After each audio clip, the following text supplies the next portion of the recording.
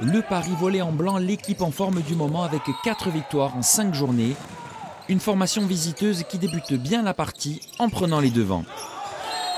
En face, le GFCA s'accroche et le score reste très serré, mais le premier set s'achève en faveur des Parisiens sur la marque de 25-21.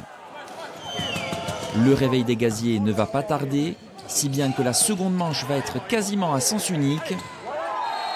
Le collectif insulaire survole les débats. Il empoche le second set de manière autoritaire, 25-15.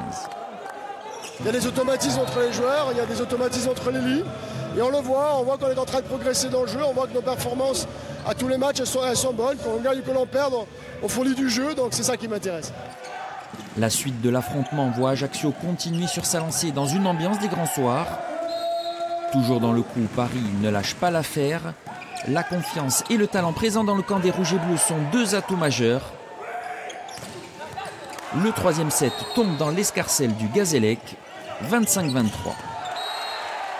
Finalement, au-dessus de son adversaire du soir, le GFCA ne tremble pas dans le Money Time.